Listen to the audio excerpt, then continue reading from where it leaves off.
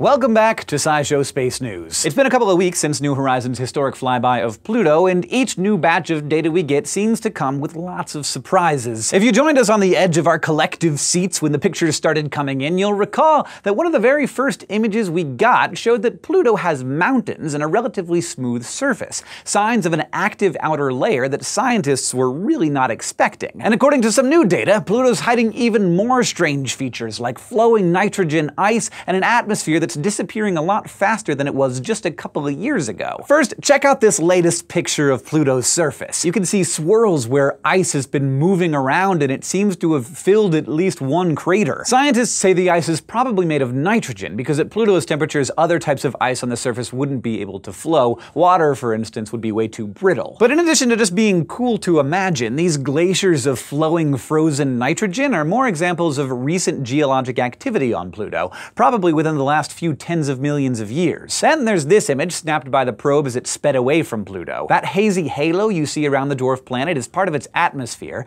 and it's doing some very strange things. The haze stretches more than 160 kilometers from the surface, five times further than models had predicted. And it contains methane, ethene, and ethyne, compounds that are part of the process that gives Pluto its red hue. Radiation from the sunlight converts methane to ethene and ethyne, which fall to the surface. Eventually, those particles freeze, and more radiation turns them into tarry, brownish compounds called tholins, and those tholins are probably what's coating the surface. Also in the latest batch of data, mission scientists measured Pluto's atmospheric pressure using antennas from an array called the Deep Space Network here on Earth to send radio waves through Pluto's atmosphere so that they'd hit the New Horizons detectors on the other side. And they found that apparently half of Pluto's atmosphere has disappeared in just the last two years. Based on how the radio waves were bent by Pluto's atmosphere, scientists think the atmospheric pressure there is only about 1 pascal at its surface, as opposed to the 2 pascals that they measured in 2013 when Pluto passed in front of a background star. By comparison, the standard pressure at sea level on Earth is over 101,000 pascals. The team thinks that Pluto's atmosphere might be collapsing because it's moving away from the sun, which is causing some of its nitrogen to condense onto the surface. But Pluto passed its closest point to the sun back in 1989, so if the atmosphere was gonna collapse, astronomers thought it would have happened much sooner. But be patient, with so much information still coming from New Horizons, researchers just need more time to figure out what's going on on our little friend out there with the heart on its butt. And Pluto isn't the only far off place that we've learned about recently. Mission scientists with the Kepler Space Telescope have released the latest set of possible exoplanets to be detected by the scope, adding 521 new worlds to its existing catalog of more than 4,000. And 12 of them seem kind of similar to Earth, including Kepler 452b, the new record holder for most Earth-like planet ever discovered around a sun-like star, and the sixth most Earth-like planet orbiting any star. NASA's calling this world Earth's bigger, older cousin, and it does seem a lot like the place humans call home, I mean insofar as we know anything about it. For a planet to be considered Earth-like, it has to be within its star's habitable zone,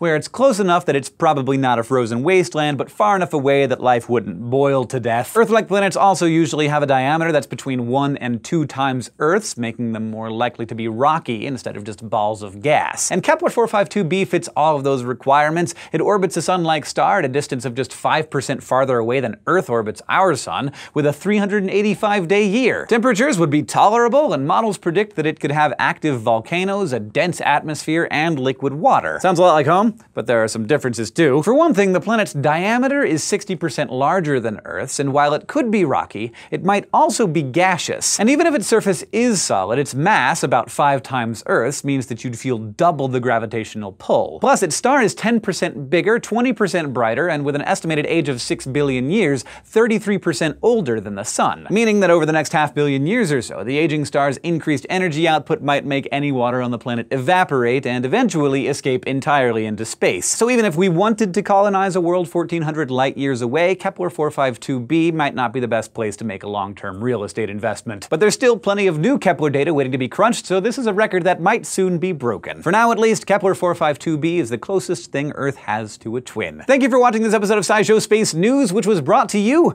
by our patrons on Patreon. If you want to help make this show possible, you can go to patreon.com slash scishow, where you can also get some pretty cool stuff. And don't forget to go to youtube.com slash scishow space and subscribe.